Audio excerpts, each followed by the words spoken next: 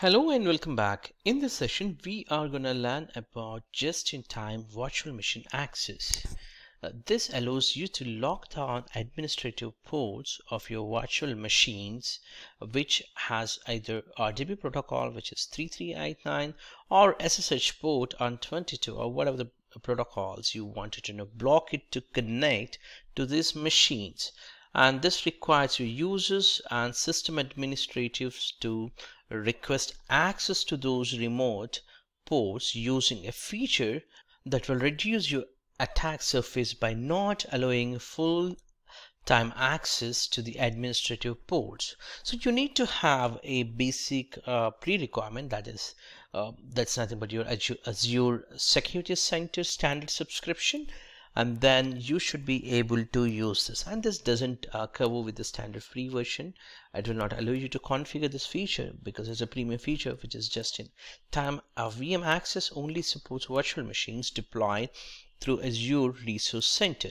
So I'm talking about ARM model. So if you have the machines with the ASM model, uh, long way back uh, mechanism of older way of uh, VMs that you must have to be upgraded to get this feature. To be honest, I hope nobody is using these days with the old and older method of ASM model. Now everybody is uh, continuing with ARM model. I'll just go to Security Center uh, within the Microsoft Azure portal and you can see here my current uh, subscription is not upgraded and I need to upgrade in order to enjoy just-in-time access.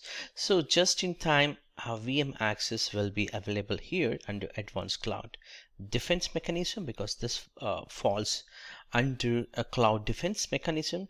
And if you see here uh, this needs to be enabled as the security center to be upgraded to standard mechanism. So I need to know just click on that. Uh, the first 30 days is a free trial. If you if you have already have the standard subscription please ignore. I'll just in my case I'm just upgrading so that it's actually going further. And as you know that security center can cover a lot of subscriptions um, so I just wanted to go for one subscription install agents so I just have uh, enable for only one single subscription instead of you know multiple subscriptions because I do have multiple subscriptions. Since there was no VMs in that subscription I I was not able to install any of the agents. That's why it was showing as a zero when we try to deploy the agents for this subscription called new. Now, as a next step, what I will be doing is if I just come to the Security Center overview and click on the recommendations, if you see here, and uh, here under security management ports which uh, will add me you know 25 plus points if I can you know fulfill these uh, requirements. The first one would be management port should be closed on the virtual machines. Management port should be protected. So here if I just go back here and click on it so I should be able to see here a VM which is unhealthy. And on top of it I need to uh, you see here this is a VM uh, which we have now. This VM has a port called 3389 automatically uh, enabled when we try to create a VM so it's very quick. Like when you try to create any of the virtual machine normally it will ask you whether you want to open for RDP port or SSH so that port will be automatically open and it will be added into your NSG firewall. So it was just for the security post that uh, we are talking about it. So once we configured it, actually what would happen is the port, whatever we are trying to connect, the management port that we talked about, either 3389 or SSH port for that specific VM gets locked.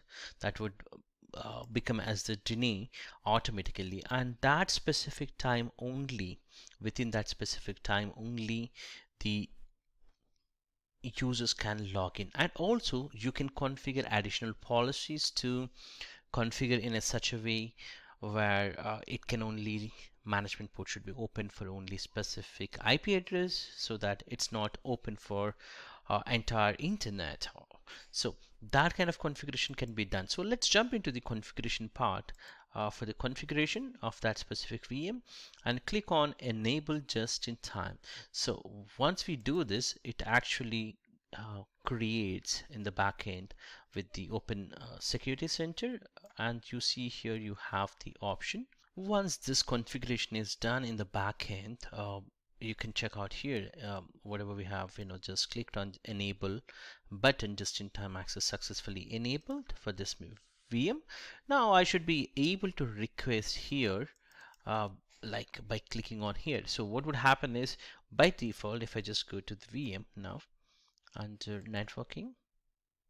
Now earlier it was actually enabled if you remember 300 port was there for RDP but now what happened is 3389 is blocked completely. So this rule was automatically created. It was not done by me. As soon as I enabled from the management configuration management so it has created a, a specific rule within the NSG fully automated method. So as a next step what we can do is we can request uh, the specific access uh, for this VM. So to do that what I can do is I'll just go to open security center. So you need to go to the security center and then virtual machines uh, this specific uh, VM and click on that and request access. So currently it is completely disabled. So let's give it a try uh, by going to the overview and see whether it's really blocked or not. So I'll just copy this public IP and I'll go to my run and MSTSC I'll try to connect here. And I'm getting error as I'm not able to connect because just-in-time access is configured and if I try with the port also it remains the same like so the connection is completely blocked. So let's give it a try uh, for accessing. So this is how you configure. So we configure now if you want to you know request access the next steps are to go to the VM and go to the security center or just go to the manage configuration and then from here just request access. So this is where it's going to uh, ask us uh, this specific policy. You see here if it is a Windows VM it's going to give us 3389 as like this but if it is a Linux SSH port will be listed here and toggling on or off you can choose and your IP range that's your um, IP or a specific IP range that is from anywhere if you give star or if you have a what's your public IP whatever the public IP is there from there also you can configure so I'll just give here any IP for example and also here the time uh, duration. So if you see here uh, this talks about the time uh, how much time I have to give here. And based on the hours I'll just go specific to the zoom uh, because it's not showing properly. If I just go a little bit zooming down I should be able to see here uh, it's a two hours or maybe four hours like that you can give post to that. It will be automatically the policy gets uh, revoked the permission for 3389 or whatever the SSH port and it will become as a default as deny so that you are actually protecting. So now what I'll be doing is I'll just take for two hours uh, for 3389 and I can give here justification. Let's say I want to configure uh, my application.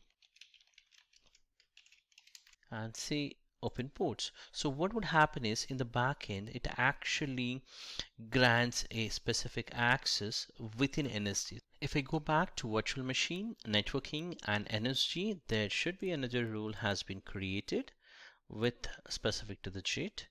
Uh, just in time access and I should be able to connect so I'll just take this or I'll open again one more time uh, MSTSC and I'll try to connect to the IP which is this 152.147.198.92 colon 33f so this time it should be able to connect because we have a working uh, working policy. You see here it's actually prompting for the user ID so I can give here my user ID to get connected so that uh, the VM port is completely enabled. And after two hours of the policy this NSG rule gets changed.